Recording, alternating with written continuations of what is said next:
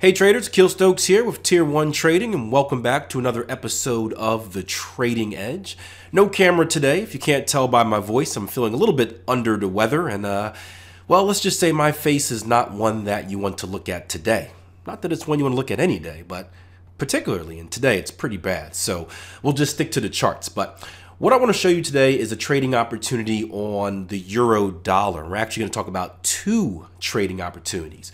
Uh, tomorrow is a big news event. We have our non farm payroll coming out along with uh, unemployment claims and average hourly earnings. Uh, it's called Jobs Friday for you guys that are new. It's typically nine out of 10 times it's the first Friday of each month. And it's a news event that the market likes to wait for and it likes to go a little bit crazy. Now, we haven't seen uh, the same reactions in the last couple years that we did in the past, as the job number hasn't really been the main focus of the economy and whatnot, but it still is a day or a news event that you want to be aware of. And it happens 8:30 New York time uh, this Friday.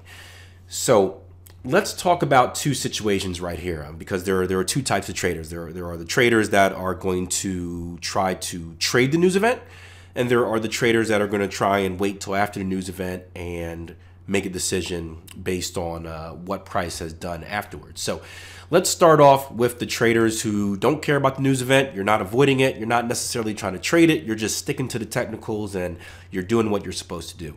If we go down to the daily chart here on the euro dollar, you'll notice that we have ran up into a previous level of structure resistance, right? This was an area where in the past we had looked for a potential reversal. We saw the market consolidate up here. We actually distributed a little bit, so we, we broke to the downside. We had a head and shoulders, and I thought we'd see a continued move to the downside, but that just wasn't the case. We've now come up to that previous level of resistance, and you can see price action is testing it again. We've come up to it over the last three days. We've held steady, which we would expect going into tomorrow's news event. And we're at a level where if you were to get involved in a trade, you're going to have a very low risk. And I say that because, well, we know exactly where our stop losses to be. The way I teach, or where our stop losses need to be. The way I teach, I always like to have my stop losses beyond structure. And seeing that we are right at a structure level, right, you can see that our stop loss doesn't have to be that far away from our entry, which is a, a good thing. So Here's what I would be looking for. Price action has rallied up into our level of resistance. Our RSI has gone overbought. That is the uh, relative strength index. It has gone massively overbought. I, I keep mine uh, at 80 and 20, so I, I, already look for those extremes. And it looks like price had come up to uh, about 85 or whatnot. And if we go down to the four-hour time frame here, right, you can see we have a nice symmetrical double top. And this is called, this is a simple pattern formation called a double top formation.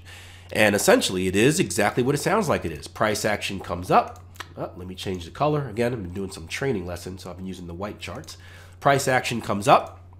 We create an initial top. You can see the RSI, the Relative Strength Index, has gone overbought at this level. So we can throw a little arrow on there to mark our overboughtness. This pink dotted line, by the way, that's the, the extreme highs of that previous uh, resistance level I showed you on the higher time frame. Price action has come up. We have retraced. Buying pressure made another run at that level. And so far, we have refused to violate it, meaning that, meaning that we do not have a higher high, higher close. So far, we're being met with selling pressure at this level, and we have a double top as well as what we call bearish divergence. And essentially what divergence is, is when your price chart, right, is doing something different or opposite than your indicators. You can see price here is making equal highs. Your indicator here is making lower highs.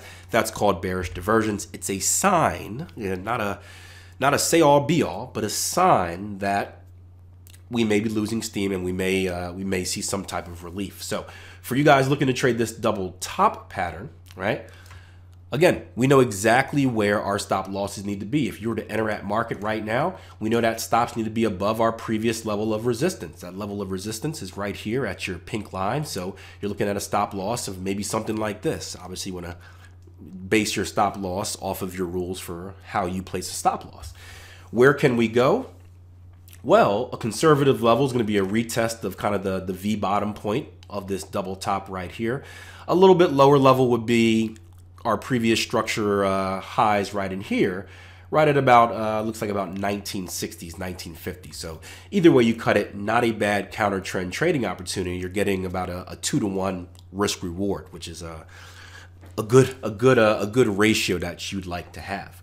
Now, the second opportunity I want to discuss is well, let's let's plan ahead. Again, we one of the things we want to do in trading is we want to be predictive in our analysis, reactive in our execution. So we always want to try and stay two and three steps ahead of the market. And what I mean by that is we don't know what the market is going to do, right? We never know what the market is going to do. However, we can prepare, and, this is something that we use called a, an if-then thought syntax, right? If-then thought process, where you're saying, okay, well, if this happens, then this is what I would predict, or if that happens, then this is how I would like to get involved. And it makes trading very simple. It makes it kind of binary, kind of robotic, where it's just ones and zeros. It's black and white. Um, takes a lot of the subjectivity out of there, allows it to be a much more consistent trader. And well, consistent analysis plus consistent execution often equals consistent results.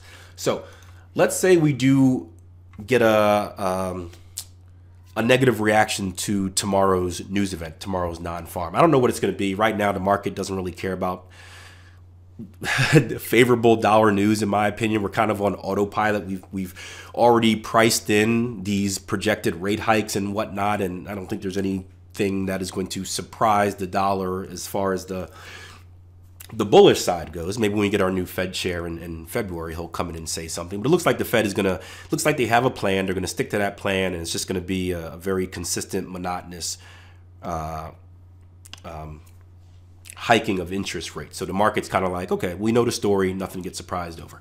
But you never know. So let's say we get some negative news and we see some uh, dollar weakness, we get some euro strength, and we see a break and close above this level, right?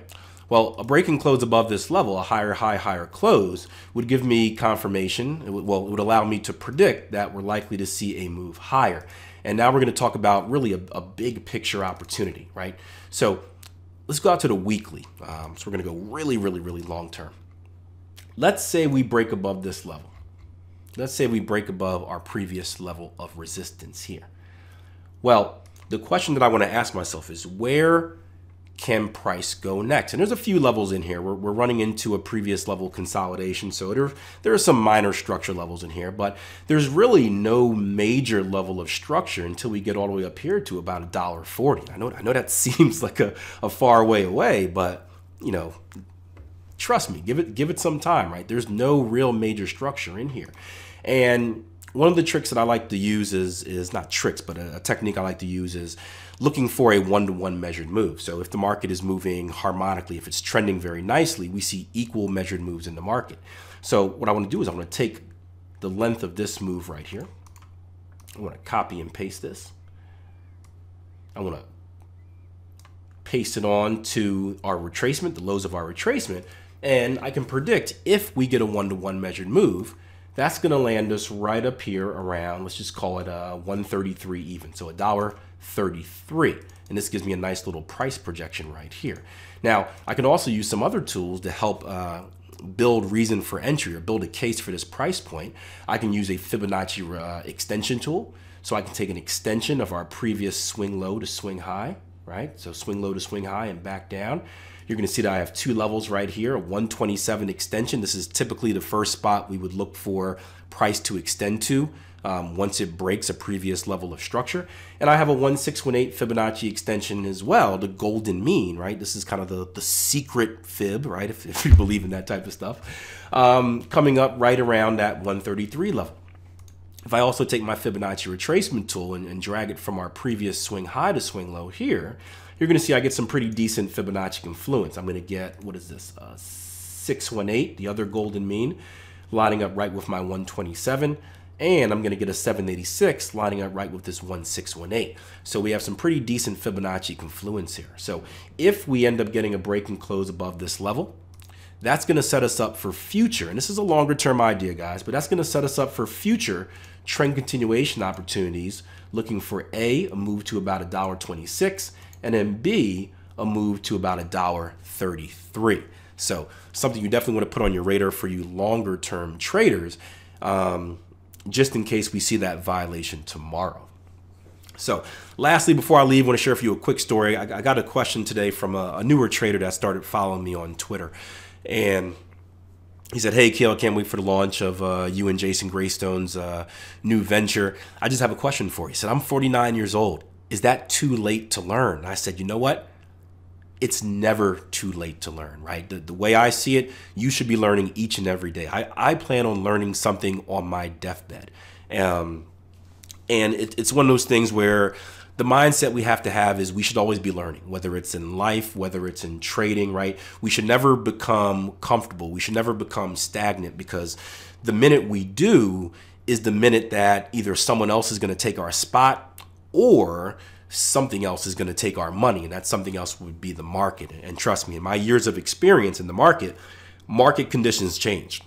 Yes, there are certain principles and techniques that withstand the test of time, but you have to be adaptable. You have to be able to adjust to the different market conditions because if you don't, you're going to be one step behind and the market's going to eat you alive. So for me, every time I come into the market, it's a learning experience, and I think that's a good mindset to uh, a good mindset to keep. And a great video if you guys haven't watched already. Uh, Jason Graystone did a video on his YouTube page. Uh, I think it's on the Tier One Trading page as well, uh, talking about one percent change. It's it's a it's a a theory. It's a it's it's a, a principle that both of us are, are very strong, uh, feel very strongly about about the Kaizen philosophy of continuous improvement and just if you can change your life by 1% each day, it just sets you on a totally different path than what you were on before. So Never stop learning. Always stay hungry.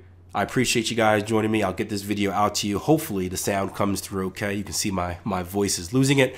Good luck in the markets tomorrow. Until next time, plan your trade, trade your plan. And of course, if you haven't done so already, make sure you register over at www.tier1trading.com. I've been getting a lot of questions about how much are the services going to cost, when are they launching. If you're signed up, all of that information will be given to you as soon as it's released. So just do that.